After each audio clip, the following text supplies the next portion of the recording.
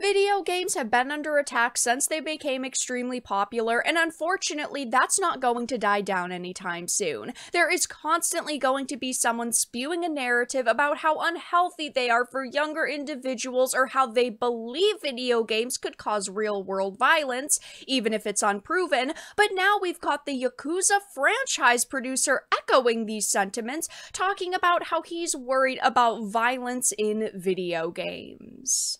I have a few things to show off, but before we get into the topic, if you enjoy the content I create, check out the links in the description, follow me on social media, and consider supporting through Patreon or via YouTube membership.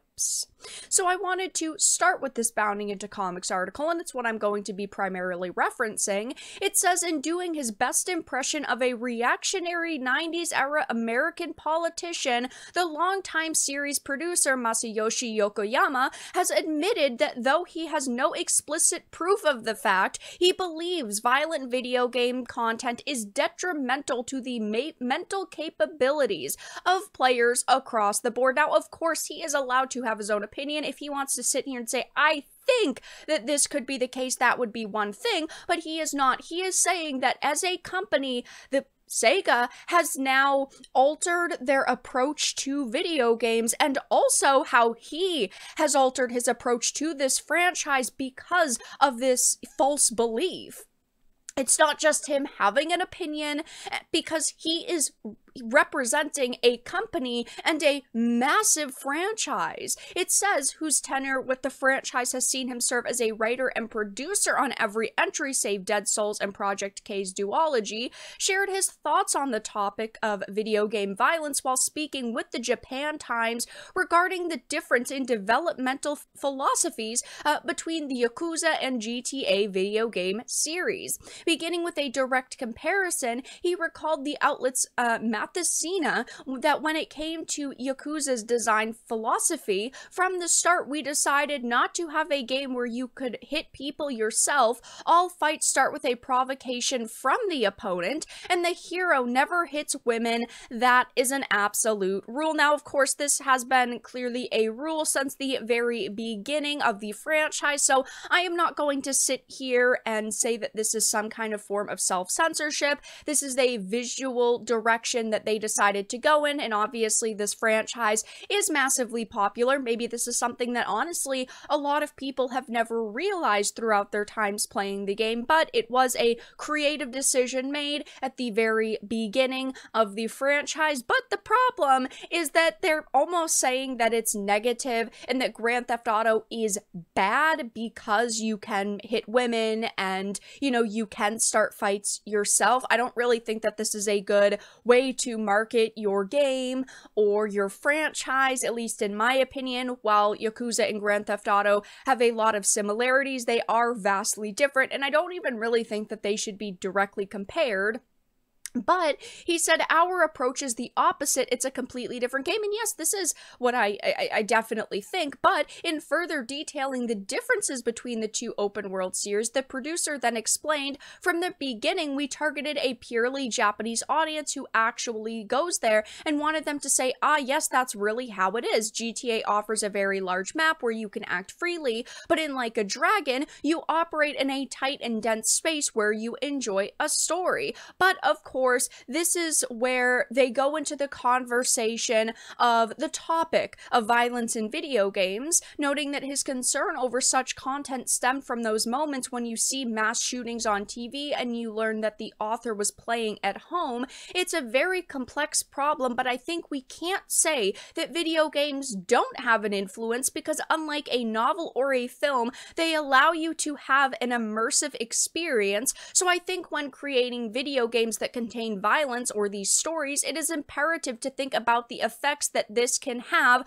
on players, which of course is just so absurd because this has been a narrative that has been around for decades and is unproven. Here are just a few images uh, of headlines uh, from several sources that have done tons of studies over the years. Playing video games doesn't lead to violent behavior, study shows. Violent video games found not to be associated with adolescent aggression. Just a Game study shows no evidence that violent video games lead to real life violence.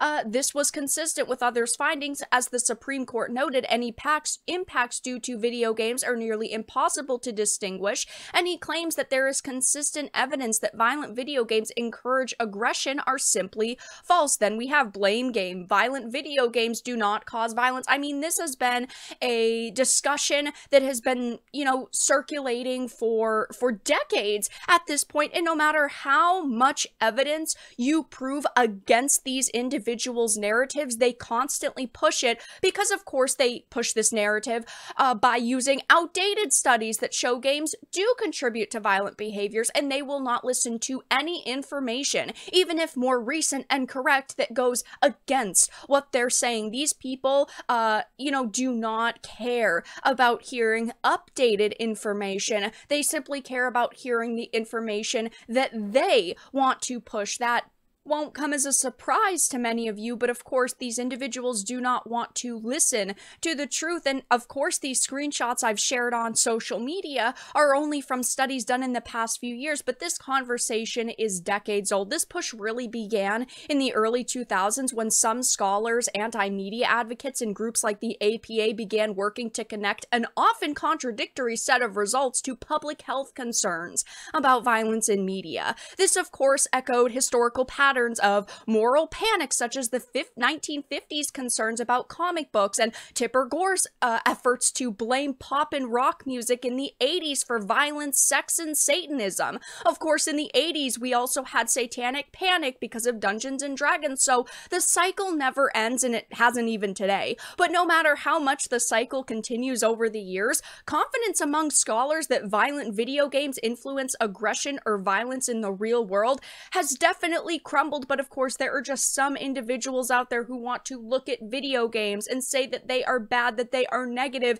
even when we have plenty of evidence against those narratives we could go all the way back to 1992 when the United States government began their hearings into the claims of video game violence corrupting society, and the two games at the time that kicked off those hearings were Mortal Kombat and Night Trap, which in the wake of those hearings, the ESRB was formed to create a system that they could use to fight back against the ridiculous claims politicians were making that video games could cause real violence.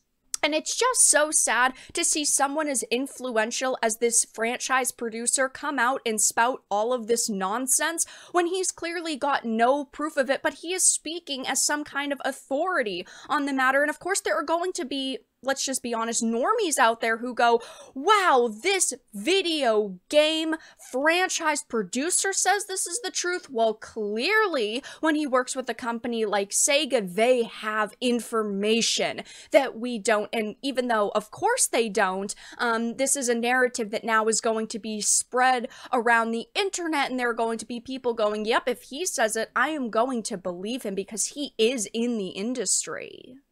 And of course, to make it even worse, he actually admitted that plots in the series have gradually moved away from purely Yakuza themes to focus on social issues, and the story no longer only concerns the underworld. Nobody wants a game like this that focuses on social issues. That's just not what people want. So not only does he not understand you know, information that he is spewing in interviews that are going to get millions of views, but he's also straight up admitting that they have, you know, moved away from creating content that people want to content that you know, fills a quota that, of course, ticks all of these boxes that they can get those sweet, sweet ESG dollars. Of course, Sega over the past few years has been extremely focused on ESG, but it's just sad to see this happen. Like, this is just a massive pile of problems within this one single interview. And it is sad again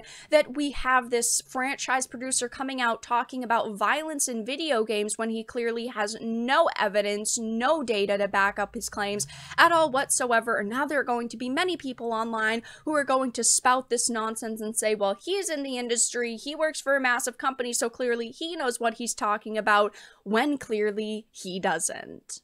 But that's all that I really had to discuss in this video. Let everyone know your thoughts in the comments section down below. If you enjoyed this and of course found it important and informative, make sure to give it a like, share it, and subscribe to the channel. And of course, if you didn't, make sure to give it a dislike. I appreciate your support either way, but I will talk to you all again in the next video really soon.